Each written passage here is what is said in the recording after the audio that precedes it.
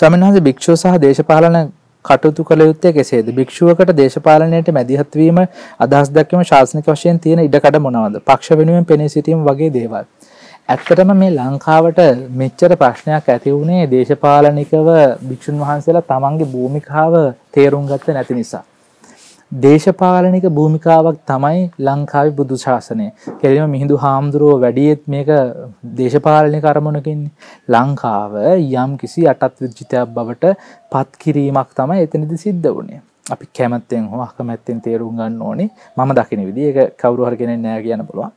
එක්තරා විදිහට ඉන්දියාවට ඇවිල්ලා ආක්‍රමණය කරන වෙනුවට මේක ආගමික වශයෙන් යම් යටත් විදිච්චයක් බවට පත් වුණ. අශෝක රජ්ජුරුව මුලින්ම චණ්ඩාශෝක විදිහට එයා දික්විජයෙන් කරාහම ඒක හරිගිය නැහැ. ඒක තේරුණා. ඒක නීරසයි.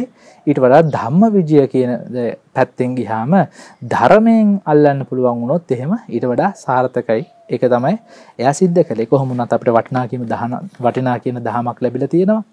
ඉතින් ඒක ප්‍රශ්නයක් නැහැ හැබැයි දේශපාලනිකව ගත්තාම භික්ෂුව ලංකාවේ භික්ෂුව අනෙක් භික්ෂු අනිත් රටවල් වලට වඩා සාපේක්ෂව දේශපාලනයත් එක්ක සම්බන්ධ වෙලා වැඩි.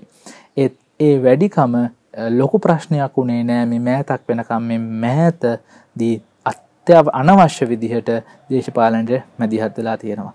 ඉතින් සමහර ස්වාමීන් වහන්සේලා කියන්නේ ජාතිය රැක ගන්න මරාගෙන උනන් මැරෙනවා කියලා. එතකොට ඉතින් බුද්ධාගමකෝ ඉතින් වැඩක් නැහැ නේ. එතකොටම බුදුදහම ඉවරයි. මරාගෙන මැරෙයි. ජාතියරකගන මේ සිංහල කියන ජාති මොකද මේ සිංහල ජාතිය බුදු දහම අතර සම්බන්ධය කවරුවර සමහරු කියන බුදු දහම නැති වෙන සිංහල ජාතිය නැති වුණොත් කියලා එහෙම එකක් නෑ බුදු දහම මේ ලෝකෙම තියෙන ලෝක ගිහිල්ල බලන කොච්චර තැන්වල බුදු දහම තියෙනවද බුදු දහම කියන්නේ විශ්වය දහමක්. ඒක මේ මේ ලංකාවගේ පුංචි රටක තියෙන හිරවෙලා තියෙන එකක් නෙවෙයි. අපි ඉතින් කතන්දර ගොඩක් හදාගෙන මේක තමයි උතුම් භූමිය මේක තමයි ඔක්කොම තියෙන්නේ. මුළු ලෝකෙම මේක ඇතුලේ තියෙන කියලා හිතාගෙන ඉන්න තරම් අපි දූපත් මානසිකත්වයෙන් ඉන්නේ. ඉතින් ඒ වගේ දූපත් මානසිකත්වයෙන් ඉන්න මිනිස්සු ටිකක් ජාතිවාදය පතුරලා ජාතිය පෙන්නලා ඡන්දවලට එක එක මිනිස්සුන්ට පෙන්නලා මෙහෙක මෙයාට ඡන්ද දෙන්න මෙයාට ඡන්ද දෙන්න කියලා ස්ටේජ් ගාන ගිහිල්ලා අන්තිමට අපිටත් පාරේ බහැලා යන්න බැරි තත්ත්වයක් උදා වෙලා තියෙන. ඉතින් කරුණා කරලා භික්ෂුවගෙන් දේශපාලනික අදහස් ගන්න යන්න එපා. හාමුදුරුරු කියන ඒවනම් ඕනාට වැඩිය ඕගොල්ලෝ ගන්න එපා දේශපාලනිකව මොකද උන්වහන්සලාගෙන් හිත හදාගන්න ධර්මය පැත්තෙන් උපදෙස් ගන්න දේශපාලනික උපදෙස් ගන්න යන්න එපා මොකද අමාරුව වැටෙනවමයි. ඒක නිසා උන්වහන්සේලාට කියන උන්වහන්සේලාගේ පාඩුවේ තමන්ගේ හිත හදන වැඩේ කරන්න උදව් කරන්න එතනින් එහාට ගිහිල්ලා මේ පක්ෂයක් සොහෝ පුද්ගලයෙක් හෝ තවත් වෙනත් ධර්මයට ඔබින් නැති ජාතියක් කුලයක් විවිධ විවිධ විදිහට අනිත්‍යයනත් එක්ක වෛර සහගත සිතිවිලි ඇති වෙන විදිහට කටයුතු කරනවා නම් අන්න ඒක නොගැලපෙනවා. මගේ මතය නම් ඒක භික්ෂුවට හානි කරයි. ඒක භික්ෂූත්වයට හානි කරයි. ඒක ශාසනයට හානි කරයි. ඉතින් එහෙම කියලා හාමුදුරුවන්ට ගහලා වැඩක් නැහැ. එහෙම ගහන්න නෙවෙයි ඕනේ. මම කියන්නේ ඔබ ඒ ඔපීනියන්ස් ගන්න නැතුව ඉන්නකොට ඒගොල්ලන්ට තේරෙනවා අපි අපි කියන එක අහන්නේ නැහැ. එන ඉති වැඩන්නෑ කියලා අතහැරලදාන්න එනම් ඔබ ඒක හිසම දුන්තියාගන්න එපා. ජාතිය ගැන අරක ගැන මේ ගැන කියලා දාපු ගපන් ඔලුවට ගන්න එපා. එවෙච්චර ගණන් ගන්නතු උන්වහන්සේලාගෙන් ධර්මය විතරක් ලබාගන්න තොට ස්වභාවිකවම උන්වහන්සේලා ධර්මය පැත්තට තල්ලු වෙලා යා ඉතින් එතිනින් එහට අපිට දෙයක් කරන්න නැහැ. ස්වාමින් වහන්සේ මේ උපතේසිට හටගත් පළමුසිතේ සිට මේ තාක් සිතිවිලි අවිද්‍යාවෙන් හටගත් බව පැහැදිලි.